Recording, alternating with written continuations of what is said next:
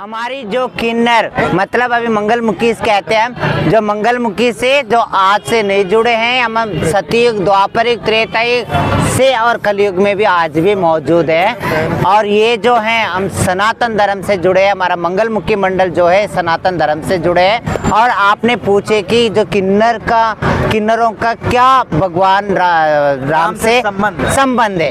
ये संबंध है जब श्री राम जी ने जब वनवास के लिए जब निकले थे तभी और ये अयोध्या के गेट तक जो गेट द्वार तक जब भी सबने छोड़ने के लिए आए नर और नारी सब आ रहे थे तो उसके साथ हमारे दो माइया भी थे। दो माइया भी थे उन माइयों का नाम भी बता दूँगी। एक माई का नाम है जय दूसरी का है श्री।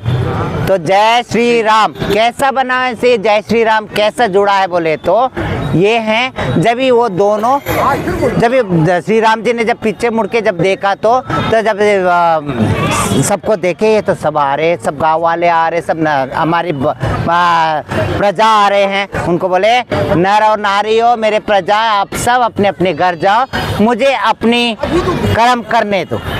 मुझे अपने कर्म करने दो। तो उन्होंने ऐसा बोल के निकल गए।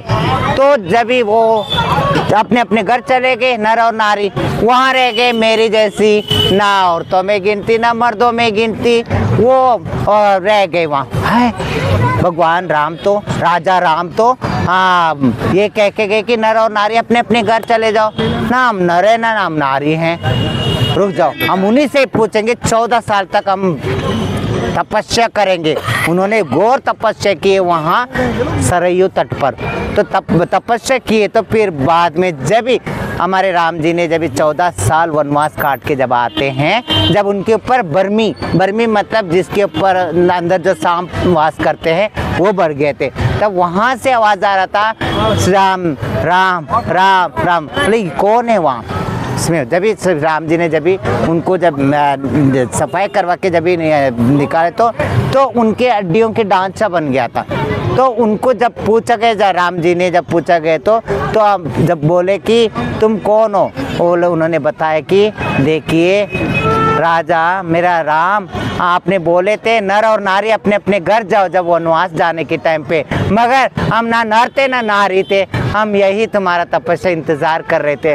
हम लोग क्या है, कौन है बताइए?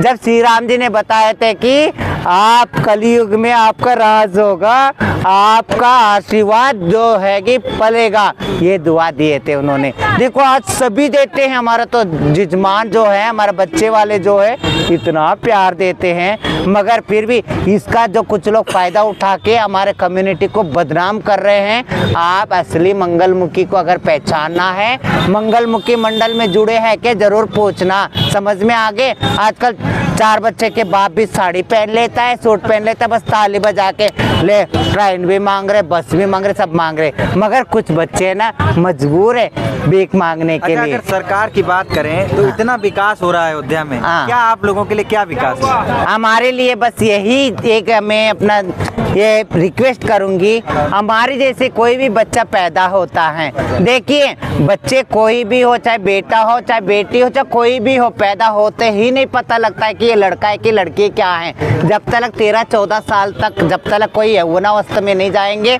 टीनेज एज में नहीं जाएँगे, तब तक नहीं पता चलता। क्या पता लड़का हो के शरीर से लड़का होता है और आत्मा लड़की होती है और कई कई जगह में आप लोग देखे होंगे तो शरीर लड़की होती है, आत्मा लड़का होता है। इसके लिए सुप्रीम कोर्ट ने भी 2019 में कहता है ना, जैसे 2014 में हमें मतलब 2014 में अदर कैटेगरी दिया गया, वो सोच समझ के कि जेंडर यहाँ होता है, यहाँ नहीं होता, लिंग नहीं होता है।